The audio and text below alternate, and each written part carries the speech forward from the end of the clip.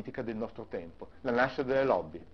Nascono così le lobby che oggi noi conosciamo. Molte persone quando si parla di lobby pensano a delle entità ehm, così mh, astratte, non si capisce mai chi siano queste lobby. Ci sono i nomi e i cognomi, le lobby sono, per esempio vi faccio alcuni nomi, potentissimi, il Transatlantic Business Dialogue, l'Investment Network, il Financial Services Group, il gruppo Lotis, eh, per, per, non parlare poi delle lobby ebraiche in America, per la questione medio orientale, le guerre, la guerra al terrorismo, eccetera ehm, a Bruxelles oggi sono registrati qualcosa come 15.000 o 20.000 lobbisti che spendono ogni anno un miliardo di euro solamente per fare lavoro di lobby.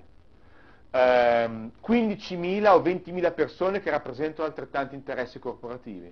Immaginate l'esercito, finanziatissimo, come disse Louis Powell, e, e fa questo lavoro con un miliardo di euro all'anno. E quindi eh, queste parole hanno dato l'origine a questo fenomeno che condiziona la vita di tutti i governi, di tutti i paesi occidentali, di tutte le scelte economiche, di tutte le scelte amministrative. Le lobby sono sempre le prime che vengono ascoltate. Il Transatlantic Business Dialogue dà alla Commissione europea, il supergoverno d'Europa, ogni anno una lista di desiderata e deve ricevere indietro dalla Commissione europea, fa ridere a dirlo, deve ricevere indietro una pagellina dove la Commissione europea dice su questo abbiamo fatto così, su quell'altro abbiamo fatto così, eccetera, eccetera.